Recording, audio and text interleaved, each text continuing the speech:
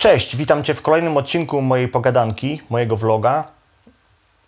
Dzisiaj chciałbym poruszyć temat, który jest ze mną od rana przez cały dzień i który do mnie notorycznie wraca, o którym rozmyślam.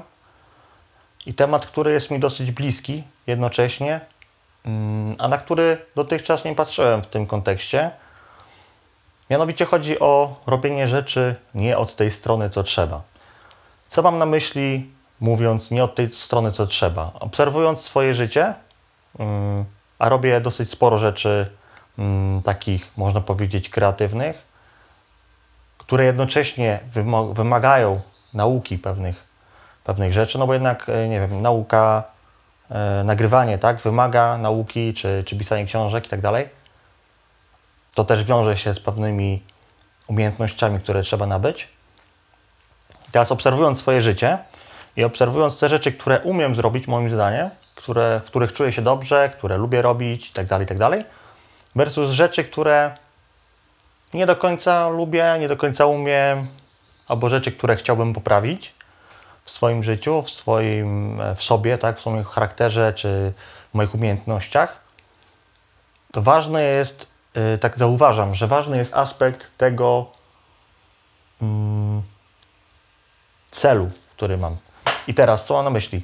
Mam na myśli to, że kiedy ja na, yy, zaczynałem pisać książkę w wieku podstawówkowym, tak?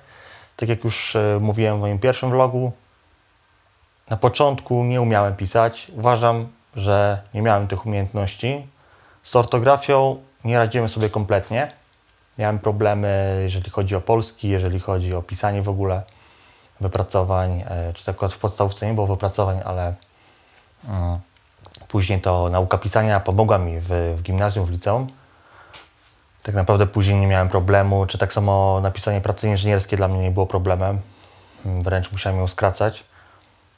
No i rozwój pisania doprowadził do nauki ortografii, do nauki składania poprawnych zdań, do nauki mm, kreowania pewnej subrzeczywistości w książce, ale też opisów, bo ile w podstawówce pisałem te opisy, nie wiem, opis przyrody, czy tam opis jakiegoś obrazu, był dla mnie problemem, tyle już gimnazjum, liceum, wręcz bardzo analitycznie podchodziłem do prac i nauczyciele właśnie zwracali uwagę, że, że, że dobrze mi to idzie, tak? I nie miałem, akurat tutaj nie miałem problemu. Czasami były raczej problemy takie e, czysto jakieś tam logiczne, czy, czy że coś się nie zgadzało, nie wiem, jakaś myśl.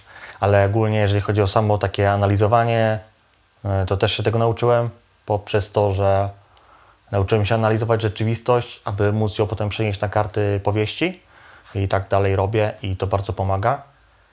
Przez co naturalnie też nauczyłem się lać taką na przykład wodę, żeby opis nie był za krótki, żeby był coraz, ćwiczyłem to, żeby opisy były dłuższe, przez co potem opisy w, opisy w szkole, jak pisałem, e, już opisy nawet, mówię, obrazu, czy nawet wiersza i tak dalej, potrafiłem trochę lać wodę przez to, że się tego nauczyłem pisząc. Mm, I to tylko jeżeli chodzi o pisanie. Jeżeli chodzi o nagrywanie tworzenie muzyki, e, tworzenie piosenek, to było tak, że napisałem piosenkę, drugą, trzecią. E, mam te nagrania do dzisiaj, bo ułożyłem łącznie, jak liczyłem, około 50 piosenek, o ile nie więcej. Ale tak myślę, że 50 piosenek ułożyłem łącznie i e, jak zaczynałem, no to wiadomo, sama gitara, śpiew i tyle. Nie grałem jeszcze wtedy na elektryku, na puzonie no ledwo grałem, bo byłem chyba w drugiej klasie mm, puzonu. Nie grałem na basie, nie grałem na innych instrumentach. Nie wiedziałem jak się układa perkusję, nie wiedziałem jak się układa pianino. Mm, nie umiałem grać na pianinie i tak dalej, i tak dalej. No i nie umiałem też nagrywać.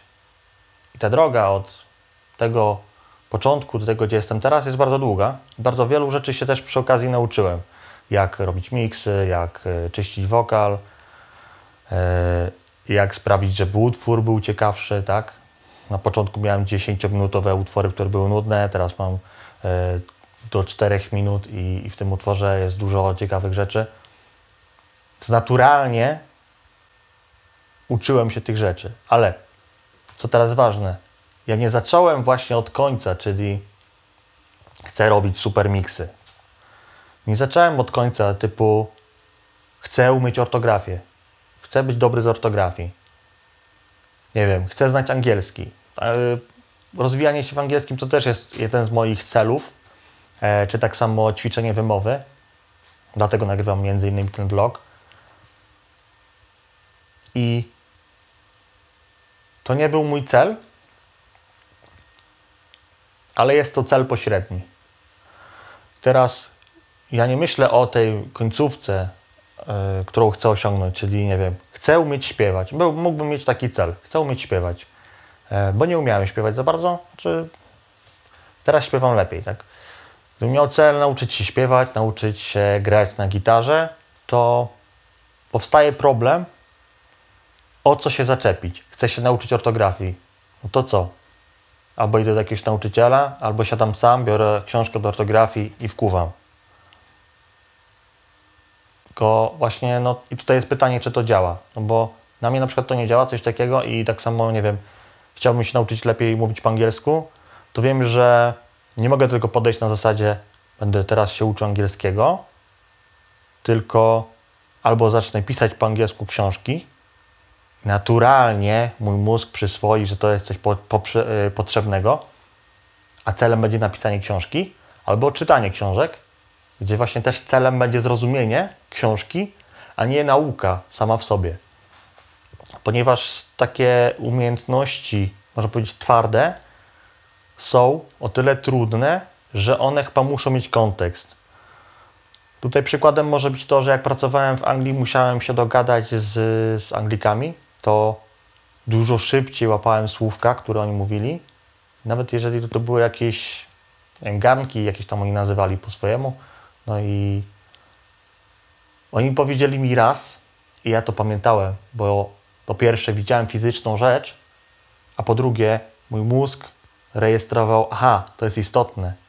Jeżeli ja biorę 500 słówek i uczę się tych 500 słówek, to może zapamiętam, ale ostatecznie będę pamiętał może 3-4 słówka z tych 500, bo reszta mi po prostu po sprawdzianie przeleci. I tak mi się wydaje, przynajmniej jakby u mnie to działa, takie podejście.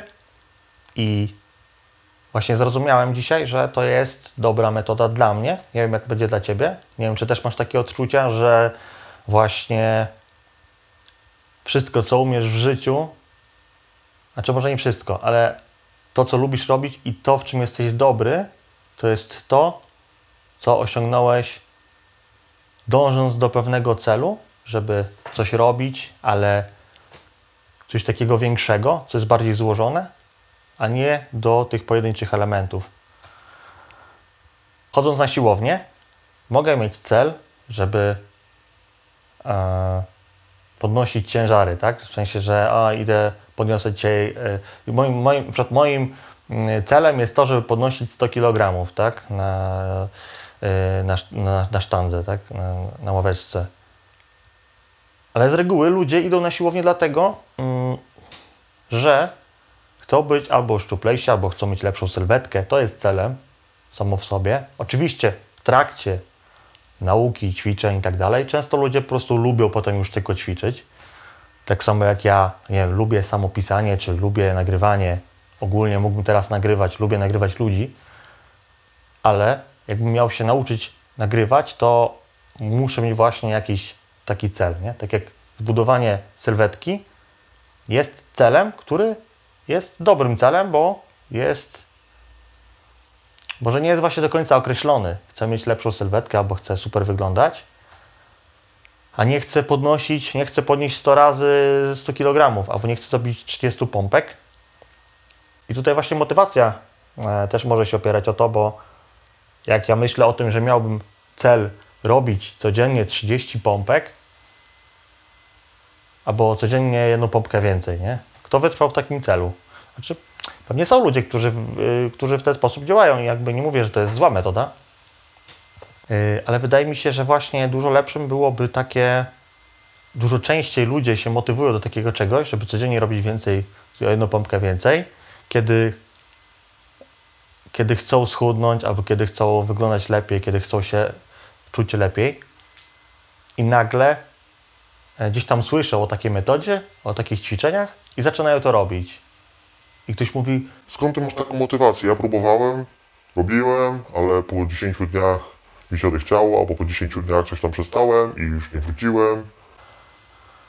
No bo właśnie mi się wydaje, że to jest ten taki cel, taki głęboki cel, który chcemy osiągnąć, że nie, że chcę umieć śpiewać, tylko chcę tworzyć muzykę, tak? Albo ja, ja taki miałem cel. Ja po prostu miałem taki cel, że chciałem w sumie się wyekspresjonować muzyką. E, swoją osobę i swoje myśli i w sumie dalej tak robię. Miałem taki okres, o, to może powiem. Miałem taki okres, kiedy bardziej chciałem nagrać, y, nagrać płytę, stworzyć piosenki, niż powiedzieć coś. I w pewnym momencie doszedłem do wniosku, jak się zastanawiałem, kurczę, o czym napisać kolejną, kolejną piosenkę, bo w sumie po angielsku ciężko pisać piosenki, muszę najpierw wiedzieć o czym, bo jak nie wiem, to trochę wychodzi takie, no. Pomyślałem, kurde Michał, ty musisz pisać o tym, co w tobie siedzi, jakie masz uczucia, e, jakie masz przemyślenia. I zacząłem pisać o tym piosenki. E, I właśnie można powiedzieć, że tworzyłem piosenki do pewnego momentu, potem miałem taki przestój, bo chciałem koniecznie napisać piosenki, a potem przestawiłem ten cel na chcę coś powiedzieć przez piosenki. Dzięki temu łatwiej mi było, dzięki temu wpadłem na to, o czym chcę pisać i ostatecznie napisałem. To jest celem samo w sobie, żeby tworzyć, ale ono jest celem pobocznym. Ono nie jest głównym celem, żeby tworzyć piosenki. Gdyby to było moim celem głównym, to pisałbym piosenki o czymkolwiek, a się okazuje, że jednak miałem ten głęboki cel w sobie. Czyli zachęcam Ciebie do przemyśleń na ten temat. Hmm, możecie napisać, e, możesz napisać w komentarzu, e, czy masz tak jak ja, czy może jednak właśnie skupianie się na tych małych elementach i takie e, podejście, powiedzieć właśnie od, od tyłu, czyli końcowy efekt chcę osiągnąć, tak? Pójdę do, pójdę do nauczyciela śpiewu, e, będę się uczył tam technik śpiewania, czy właśnie chcę po prostu śpiewać. Nagrywam siebie, wrzucam do internetu, chodzę na jakieś tam kursy albo do jakiegoś, e, do jakiegoś nauczyciela, ale jednocześnie cieszę się z tego, że śpiewam i dążę do tego, żeby po prostu śpiewać. Bo lubię śpiewać, będę śpiewać. E, To też e, wyklucza wtedy takie coś, że mm, taki e, syndrom oszusta, że ja nie umiem śpiewać, że inni śpiewają lepiej, że, że ja jestem słaby, że jestem gorszy, bo celem jest śpiewanie, a nie, a nie umieć śpiewać. Albo celem jest nagranie płyty, ale nie mówię o tworzeniu muzyki, bo można nagrać covery i tak dalej, ale przykład chciałbym śpiewać w zespole i nagrywać płyty. I to jest mój cel, to jest moje marzenie. Idziemy z moimi trzema kumplami, zakładamy zespół. On nie umie grać na gitarze, tamten nie umie grać na basie, ale po prostu razem się uczymy. No i są takie zespoły, są takie osoby, które w ten sposób podchodzą i im się właśnie udaje. I nie ma takiego wtedy myślenia, że kurde, ja jeszcze nie umiem grać na basie, a ja jeszcze nie umiem, ja jeszcze nie umiem grać na gitarze, a ja nie umiem śpiewać, to najpierw się nauczmy, a potem założymy zespół. Nie? Z reguły jest tak, że zakładamy zespół, na początku jest masakra, ale potem każdy się rozwija i po paru latach się okazuje, że jest super zespół, który jest zgrany, który umie grać, który jest do siebie spasowany, a nie tak, że każdy się nauczył, ale gra trochę w innym stylu. I tak mi się wydaje, że takie właśnie, taki syndrom oszusta, który mówi, że y, jesteś gorszy w czymś, to się bierze z tego, że chcesz być dobry w czymś, y, a nie, że chcesz coś robić. Dobra, to tyle z mojej strony. Y, napisz, co, co uważasz w komentarzu. Zachęcam do dyskusji, bo myślę, że temat jest ciekawy. Jeżeli też coś było niezrozumiałe, no to możecie pytać, ja ewentualnie albo dogram, albo napiszę odpowiedzi mm, jeżeli coś było niezrozumiałe w mojej wypowiedzi. Wiem, że jestem trochę chaotyczny. Właśnie dla mnie nauka wypowiedzi e, jest e, też celem tym, co robię, że nagrywam te rzeczy. E, bo pomyślałem, że przy okazji, jak już robimy podcast z Michałem i też jak mogę nagrywać, bo mam, mam sprzęt i, i umiem nagrywać, mam takie umiejętności, to mogę przy okazji popracować nad wymową, popracować nad składaniem zdań i że to jest właśnie taki cel pośredni, ale nie jest to cel główny. Nie jest to coś, na czym teraz mm, skupiam uwagę, że będę ćwiczył codziennie. Wiadomo, że w pewnym momencie pewnie dojdzie do takiego momentu, że będę ćwiczył to bardziej. Czekam na zdjęcie aparatu, bo z aparatem jest bardzo trudno, ale będę dążył do tego celu e, właśnie w ten sposób, że będę też mm, siebie nagrywał i udostępniał, bo to też jest w sumie dobra forma, żeby, żeby to poszło gdzieś tam w internet, e, bo, no bo jednak jest jakiś tam stresik, jest coś takiego przed kamerą, że jest inaczej i myślę, że to jest dobry trening. Dobra, kończymy na dzisiaj. E, no i życzę Wam miłego dnia. Jeżeli oglądasz to rano, to miłego dnia. Jeżeli wieczorem, to miłej nocy.